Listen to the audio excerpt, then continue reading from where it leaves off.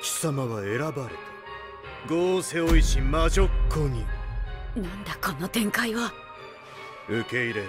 この汚れ切った世界を正す力を。うんわかった。即答かよ。よろしい。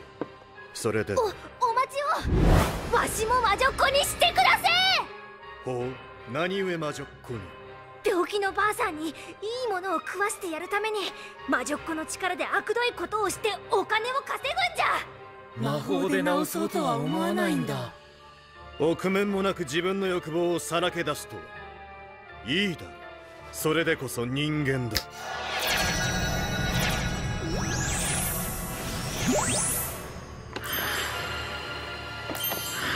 やっぱり恥ずかしい。しかし残念だ。力を行使するためのステッキは一つしかない。戦って生き残った方が手にしろ。さあ争い事はやめて。僕は魔法の妖精。